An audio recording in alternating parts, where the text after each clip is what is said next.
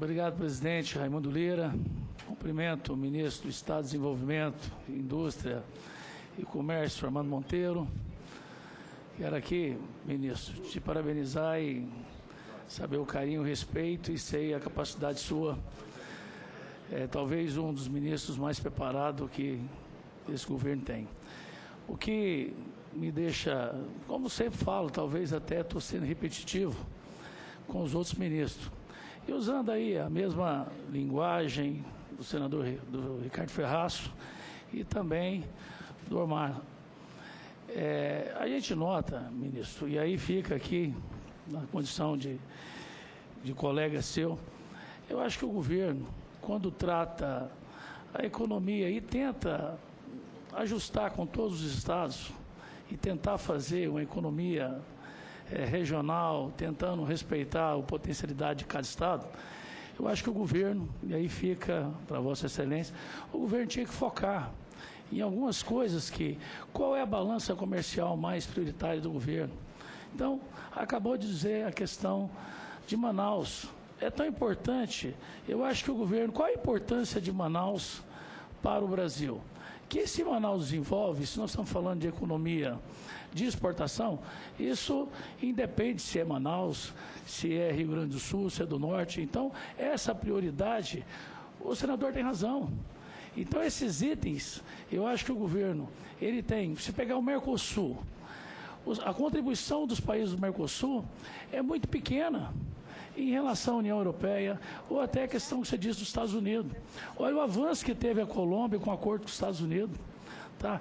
Tem avançado muito mais que nós. Então, essa relação com os países do Mercosul, eu acho que o Brasil, ele tem que avaliar, eu acho que o ministro, eu acho que como técnico, como talentoso, é pegar a nossa cadeia de exportação e estudar item por itens. O que que perde ou que ganhamos na mineração? na carne, que somos grandes exportador, o que nós devemos exonerar? Então, acho que o Ministério ele tinha que ser focado e tentar ver o que nós possamos aumentar a nossa exportação de acordo com os itens que a gente tem, no caso, que a gente tem indústrias modernas, como a Vossa Excelência me diz, dos carros, aonde nós podemos avançar nisso.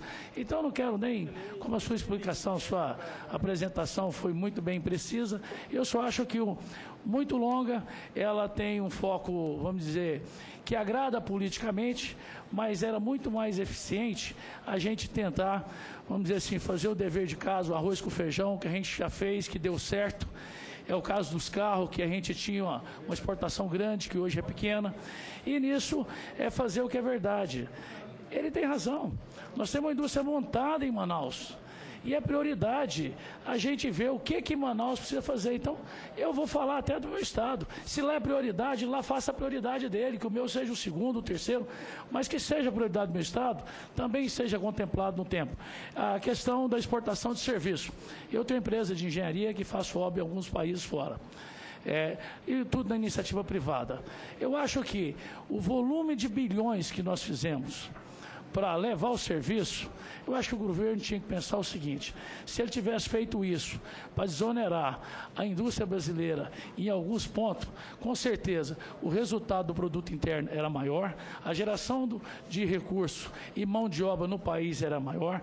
Então, essas coisas, ministro, que você tem capacidade, que a Vossa Excelência tem capacidade, eu acho que o governo tinha que pensar, escolher uma espinha dorsal dos ministérios e fazer o seguinte: quais são os mistérios importantes? Eu acho que aí ter foco, e principalmente o seu, que nós estamos falando da economia brasileira. Então, deixa aqui a Vossa Excelência que Deus te dê muita sabedoria para a gente possa sair é, e colocar o Brasil no crescimento que tanto precisamos. Obrigado. Com a palavra.